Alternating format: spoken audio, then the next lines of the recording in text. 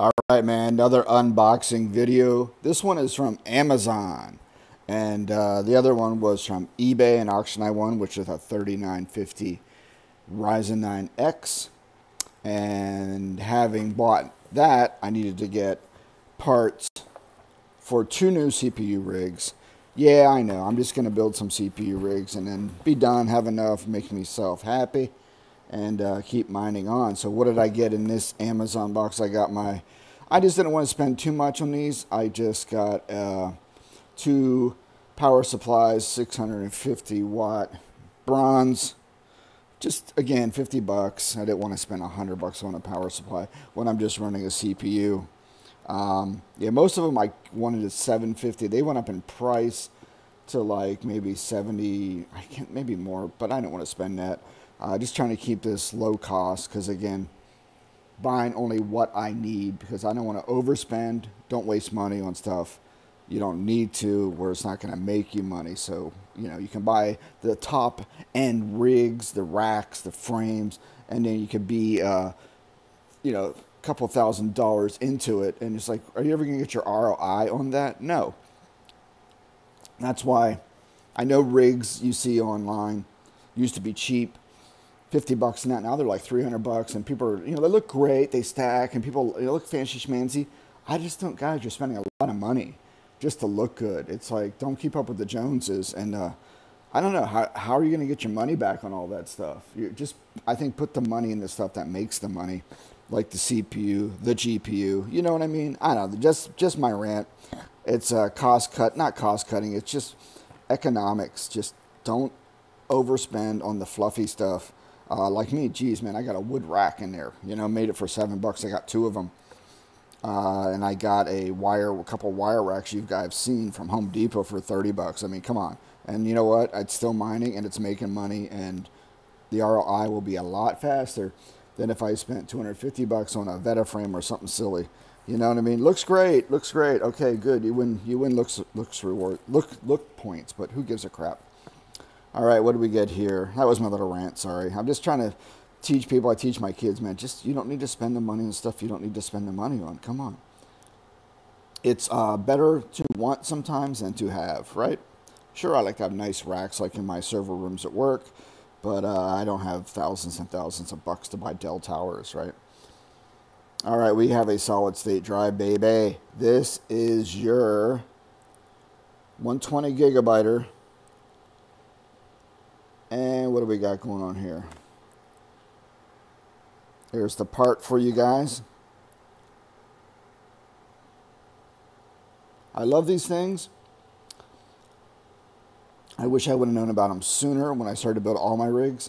Because again, this, this plugs right into the motherboard. Is your SATA drive. I'll put Windows on it. Is that focusing?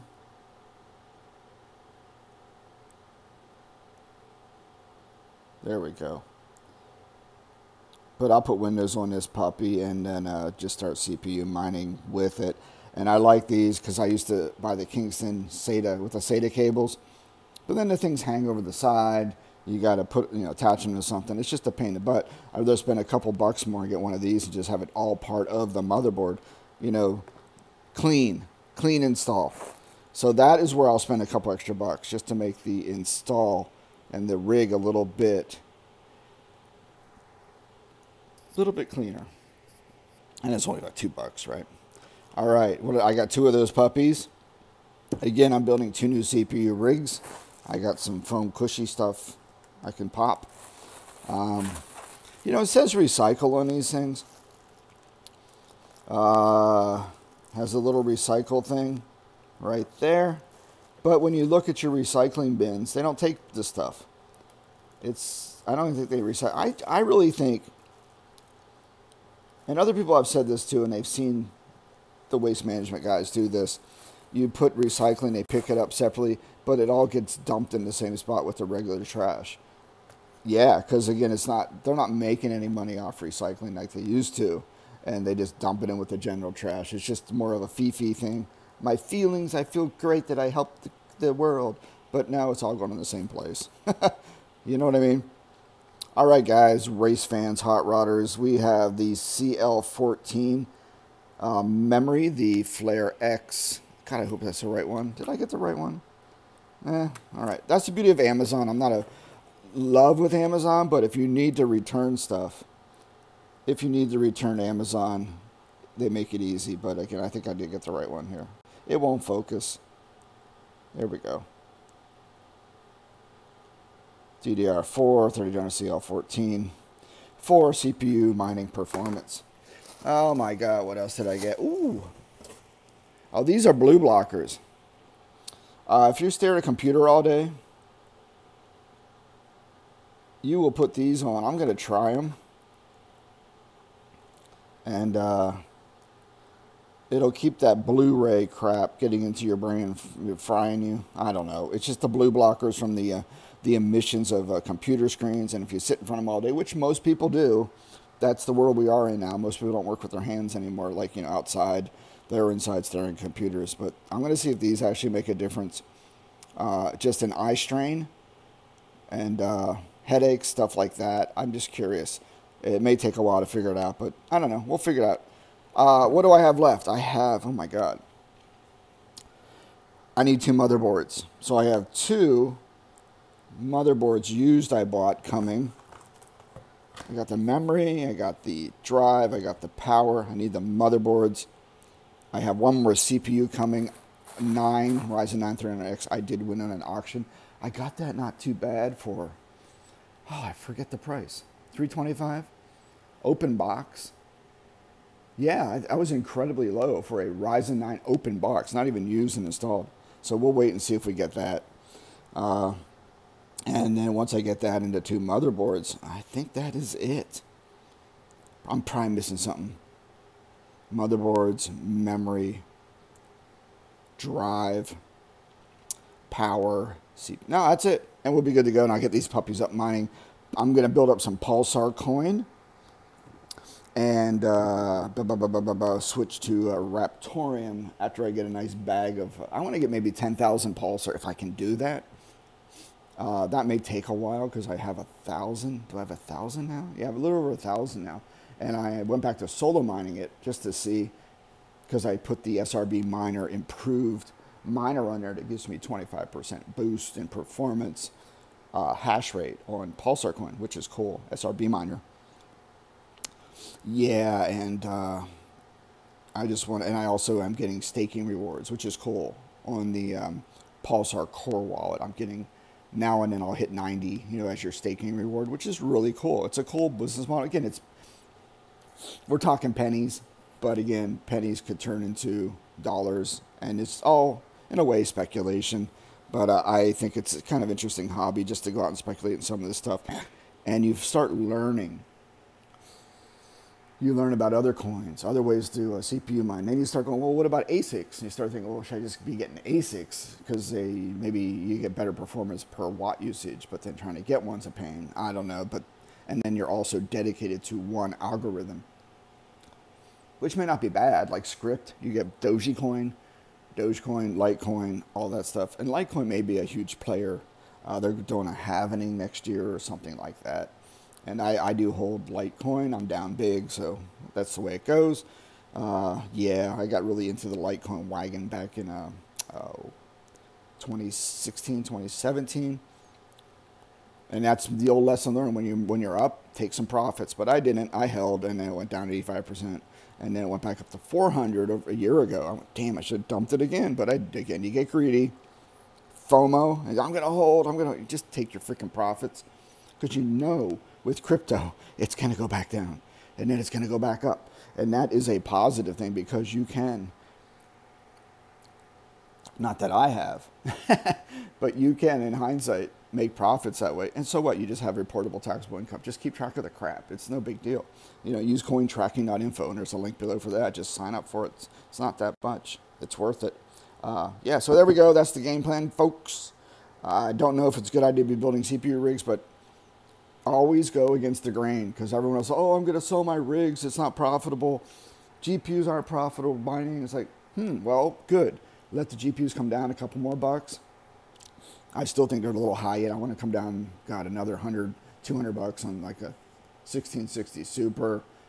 I'll let that cut below 300, and it's eh, maybe it's getting there. It's getting like mid 30s. I've seen some for 329 on Newegg.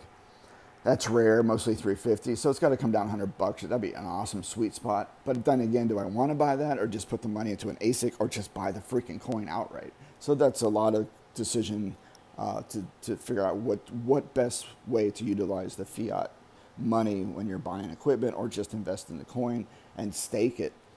Because you could buy Pulsar coin and start staking it, and maybe you're not even worried about an ROI on your equipment. You're um, immediately making money by staking. So there's always that school of thought. You have to, you know, maybe divide it, mine and then stake, buy, stake. You know what I mean? There's just a different, different routes to go through. So that's something to consider, uh, which is a good thing. There's many options to make money with crypto mining, passive income through staking, uh, proof of work, all that. I mean, um, smart nodes, and uh, you get the interest and stuff like on Voyager. So yeah, sign up for Voyager, guys. That's a great platform for um, making interest on your crypto, but it's risk too because it's they they have your coins, so you have to think about that. Is is the risk worth the squeeze? You know what I mean? Uh, yeah, I don't know. I might put the stuff back into my wallets, my hard wallets. I mean, my uh, yeah, my my uh, cold storage. Just lock her down. But you never know. I just don't know yet. I'm sure I'll figure it out. All right, so that's where I'm at. Ten minutes in, open box. Got some power supplies, cool memory, uh, SATA drives, solid state drives. I mean, and um, 120 gigabytes.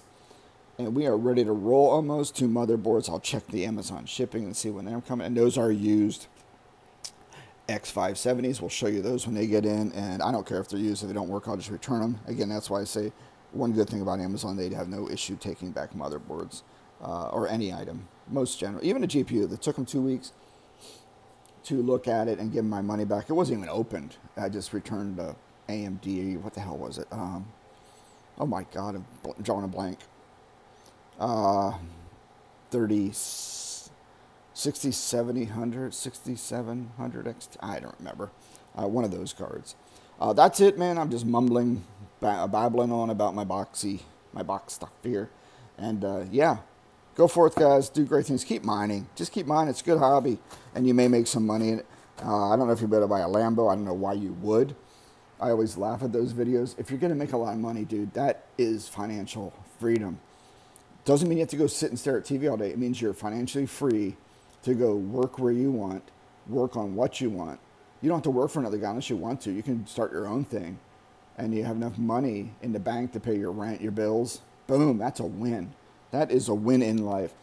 You go buy a stupid car, a Tesla, a Lambo, drop all that money. That's stupid. You're buying a depreciated item and you're locking all that money up in that car. That's just not smart. You got to get that money, make all those little dollar soldiers to go out and make, you know, uh, make more soldiers. you know, you want to, you want that money to grow then for you in a smart way. Don't risk it all and lose it. But yeah, I just like, oh, I'm gonna buy land, but why? That's just shows immaturity. And it's like people that win the lottery, they're broken a year. Same mindset. No, you just got this money. You are financially free, or you're working towards it. That is the goal in life. Sitting in a cube, working for someone else who demeans you and hates you is not a good life. And you are not part of a company, a culture, a family. That's crap they push today, and people fall for it. It's all brainwashing.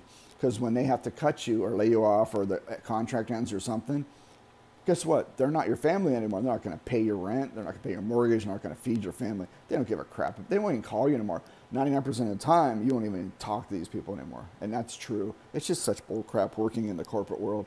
You're better off working for yourself or with like minded people that get it. And it's a small minority that get it. And uh, a lot of people are just douchebags, and that's why I always push for financial freedom. Don't buy crap you don't need. Get the money and be your own boss. That's the goal in life, man. Working for a job, a job is just over broke. J O B. A salary is just paying you enough just to keep you compliant and showing up the next day. You know what I mean? You never notice salaries are just enough in general to pay your mortgage, pay your food bills, and then have maybe a couple extra bucks to put in your 401k, and maybe maybe a couple extra bucks to save for a, a vacation with your family. Never an abundance amount amount that it's like, hey, I just got a huge check every month. No, it's always just enough to keep you coming back the next day. It's you know, it's it's just the way the world is. Uh, but if you can see through the matrix and uh, just become financially free. All right, beating a dead horse on that one. All right, thanks for watching. I'm out.